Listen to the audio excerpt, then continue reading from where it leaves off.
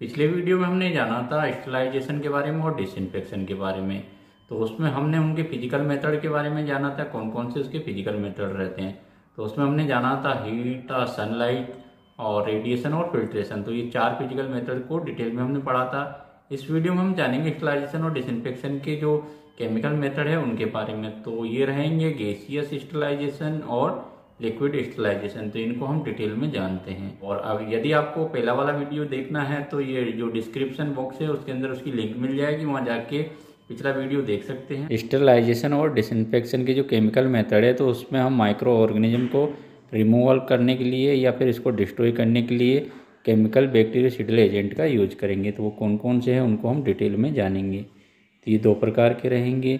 एक तो रहेगा गैसियस स्टलाइजेशन और एक रहेगा लिक्विड स्टलाइजेशन तो गैसियस स्टलाइजेशन में रहेंगे ethylene oxide, formaldehyde, nitrogen dioxide, ozone और लिक्विड स्टलाइजेशन में हम जानेंगे हाइड्रोजन प्रोक्साइड ग्लूट्रेल्डिहाइड और हाइपोक्लोराइड के बारे में। सबसे पहले हम जानेंगे गैसियस स्टलाइजेशन के कौन कौन से मेथड है या कौन कौन हम केमिकल एजेंट को यूज़ करेंगे गैसियस स्टलाइजेशन में। तो इसमें है ethylene oxide, formaldehyde nitrogen dioxide और ओजोन। तो सबसे पहले हम जानेंगे इथाइलिन ऑक्साइड के बारे में। तो पहले हम जानेंगे इथाइलिन ऑक्साइड किस प्रकार से काम करती है और ये किन इंस्ट्रूमेंट या जो हमारे आर्टिकल्स आते हैं तो उनके लिए यूजफुल है। तो जितने भी हमारे जो प्लास्टिक के रबल के आर्टिकल और respirator heart lung machine suture dental equipment तो इनको हम स्टलाइज करने के लिए इथाइलिन ऑक्साइड का यूज़ करेंगे। और ये रूम टेम्परेचर पर गैस फॉर्म में होती है और इसका यूज़ हम ईटीओ मशीन रहती है तो उसके अंदर करते हैं और उसके द्वारा हम जितने भी हमारे रबर के और जो प्लास्टिक के आर्टिकल्स हैं तो उनको स्टलाइज करेंगे। वीडियो में हम देखेंगे कि इथाइलिन ऑक्साइड से जो ई मशीन है तो उसमें किस प्रकार से हम जो प्लास्टिक के सामान आते हैं, जैसे कि अभी गोगल्स है तो हॉस्पिटल में उनको किस प्रकार से हम स्ट्राइल करेंगे। ये ये मशीन है। भैया इसमें अभी गूगल जो है ना वो आ रहे हैं। अच्छा ये गोगल्स आ रही है इनको हम ऑटोक्लेव करेंगे ईटीओ मशीन में। तो इसमें कितना टाइम लगता है? इसमें आठ घंटे का समय लगता है। तो ऑटोक्लेव होने के बाद ऑटोमेटिकली बंद हो जाते हैं जी। हमारे यहाँ। तो ये क्या सीधे आते हैं कि ये धुल के आते हैं वहाँ से? वहाँ पे हाइड्रोक्लोराइड के पानी में एक बार सोडियम हाइड्रोक्लोराइड सोडियम हाइड्रोक्लोराइड के पानी में धुल के आते हैं वहाँ से। यहाँ यहाँ पे हम ला के रख देते हैं और यहाँ से हम आपको नॉर्मल पानी में। साफ़ करके इस तरीके से रख लेते हैं। ये नॉर्मल पानी में जिससे कि इनके अंदर का जो केमिकल है वो निकल जाएगा अच्छा। इसके बाद इन गूगल्स को हम सैनिटाइजर से ये जो पानी के दाग लग जाते हैं इसके ऊपर अच्छा। इनको साफ़ कर लेते हैं। इस तरीके से लिए अच्छा। अब चश्मे में अंदर जो है गिलास पे हम जी। नॉर्मल साफ़ कपड़ा से साफ़ कर देते हैं। केमिकल नहीं लग, लगने देते हैं। लग करने के बाद में क्या करेंगे? साफ़ करने के बाद से हम उसमें पैकिंग सील है जो उसमें पैक करेंगे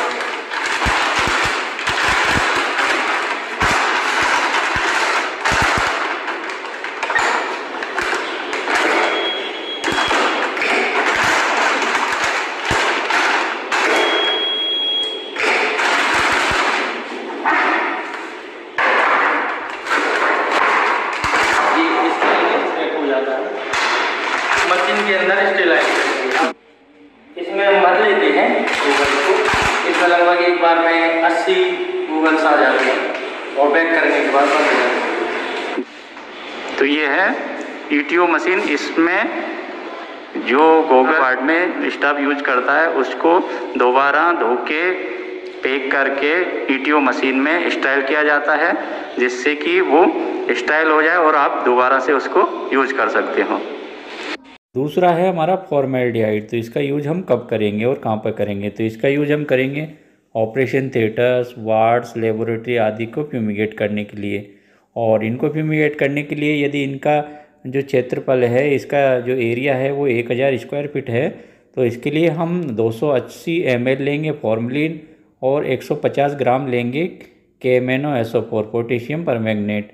और इसको हम अंदर वार्ड में या फिर जो ऑपरेशन थिएटर है तो वहाँ पे मशीन में रख देंगे या फिर एक डिस्क आती है कांच की तो उसके अंदर रख देंगे। तो ये पूरा गैसीय फॉर्म में पूरा फैल जाएगा और इसको हम 48 हावर्स के लिए लगा के रखेंगे और जितने भी दरवाज़ा है, खिड़की है, वार्ड के या ऑपरेशन थिएटर के, उनको सबको बंद कर देंगे।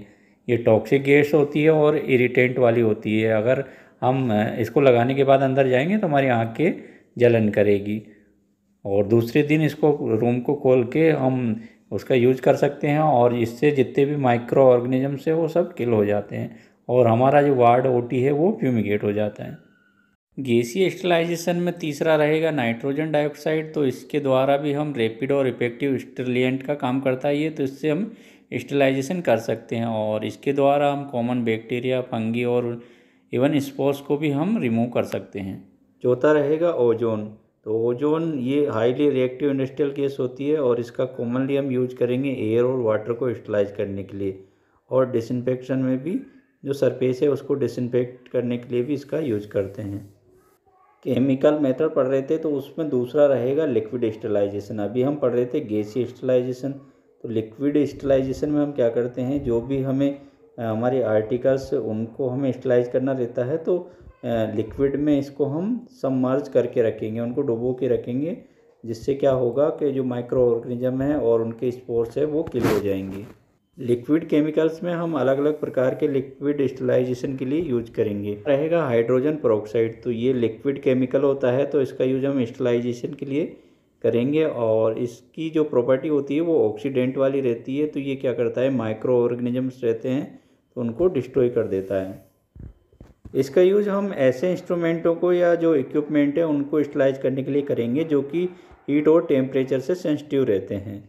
जैसे कि इंडोस्कोप हाइड्रोजन प्रोक्साइड से जो स्टलाइजेशन करता है तो उसमें कम समय लगता है। जबकि हम जो इथाइलिन ऑक्साइड से जो हम स्टलाइज करेंगे तो उसमें 10 से 12 घंटे लग जाते हैं। जबकि हाइड्रोजन प्रोक्साइड में हमारा आधे घंटे के अंदर ही स्टलाइजेशन हो जाता है।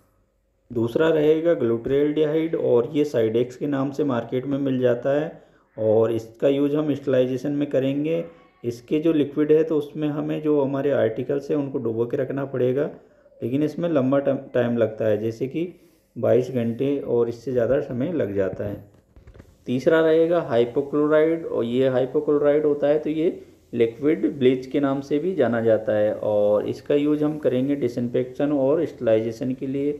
और जो हमें ओटी का जो पर्स है, वो साफ़ करना है तो हम इसको डाल के भी ओटी के पर्स को डिसइनफेक्ट कर सकते हैं।